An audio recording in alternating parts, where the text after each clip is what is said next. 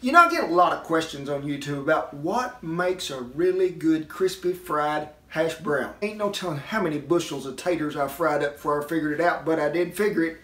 Clarified butter, rinse them taters really well, and the lid's got to go on that skillet when you go to fry them. So come on, let's go make some.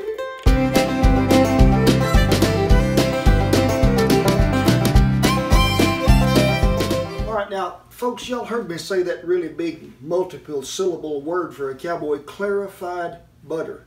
Now, to me, when you clarify butter, when you cook it down and you break them solids apart and that milk and stuff rises off there and you're going to separate that, then that butter taste and the flavor that isn't going to burn will help that hash brown get that golden crust, but whew, it is going to be so good. Go over about a medium high heat.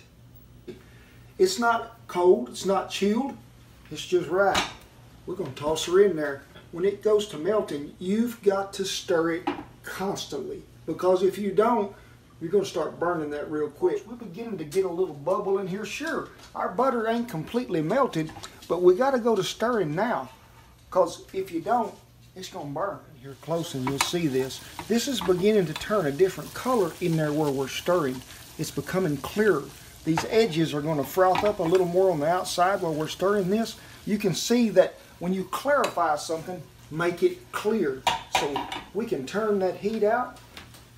Continue stirring while this stuff is boiling so it don't got a chance to sit there and burn.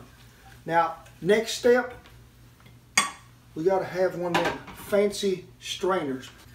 Nearly everybody got one of these. It's called a coffee cup and a coffee filter. I'm just going to mash it down in there just a tad and fold it over because we got to strain the solids off that butter. And you have to be a little careful here not to overflow your filter apparatus and give it time to soak on through there. And we'll just let it sit there and drain and we'll prep them taters here in just a second. All right, folks, remember russet potato. So we'll just peel this thing.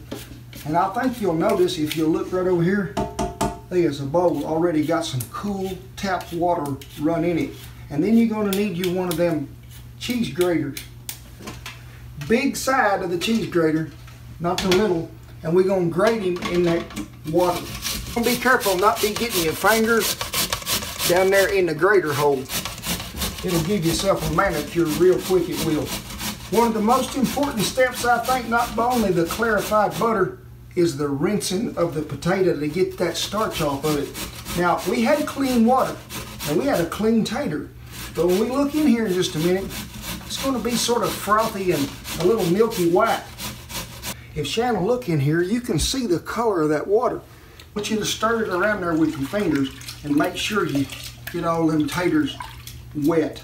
Now, everybody got one of these space helmets they do. If you ain't, get you one because you're going to need it.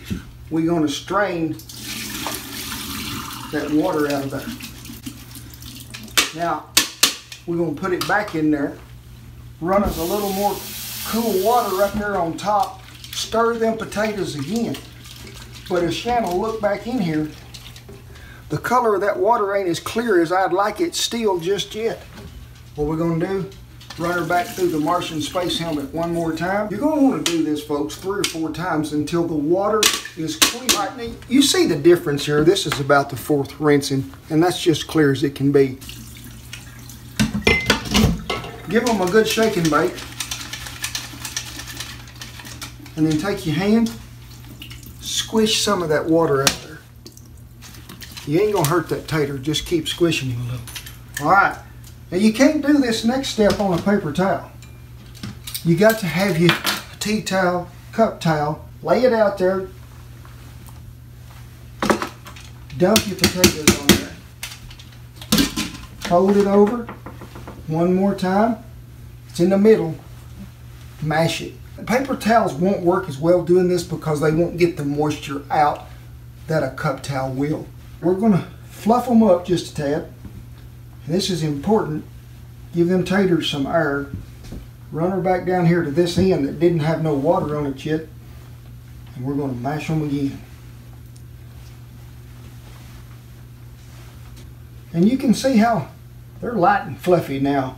They are good to go. And see that good white color you got in them taters? That's due to that rinsing. So let's get ready to fry up some hash browns. Another important component here, cast iron skillet. Go ahead, let's get about a medium high heat again. Our clarified butter that we had, we're going to add about three tablespoons. Now, we're going to let that go till it just begins to bubble just a little and we'll know that our iron is getting good and hot. But you want to make sure that this skillet is wet all the way around. There's a little bubble action beginning to take place. Get this hash brown. Try to put him right in the center if you can. I don't want to mash him plumb down. I just want to give him a little pat. And we're going to season him good. Now folks, you can see the thickness here is probably over a half inch, closer to three quarters. You don't want to mash him where he's plumb flat like a pancake, but we need to get this lid on him because what's that lid doing? It's creating that steam effect, which is going to help them potatoes get done in the middle because we're going to have to flip him over here. We're going to let him go about five minutes. Now, I know how bad you're wanting to, but don't do it. Do not take this lid off just yet while it's cooking. We're going to go about five minutes. You can go looking at that clock. About four and a half, we're probably going to take this lid off and have a look at it. But you take that off too quick, you lose that steam, that pressure that's helping the inside of that cook. So get away from the lid. All right, folks, we've been about four minutes and 59 seconds. As you can see, things is looking good. Now you got to sneak up on this like a covey of quail. You don't need to be putting the lid back on him this time because he is good to go. Go about two to three minutes on this side or when you begin to see that crisping around on them edges again and then it's, woo, hang on. I'm going to eat me some hash brown. One thing about cast iron, you can turn it off. It's still cooking just a minute till I get something out of my eye. Now, we didn't cook it maybe two minutes on this other side because it's done cooked three-fourths of the way through. Now you can put them on a wire rack or you can put them on a paper towel and just let them sit a minute. Look here. And there is crunch everywhere. Sign off. I don't know if y'all heard that, folks, but that's what I call a crunch.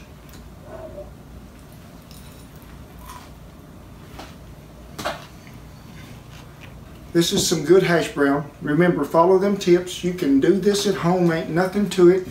We thank you so much for stopping by the kitchen today, me and the Beagle and Frank and Shen, and we appreciate you watching our YouTube channel hit the subscribe button. God bless you each and every one, and it's Hash Brown Day.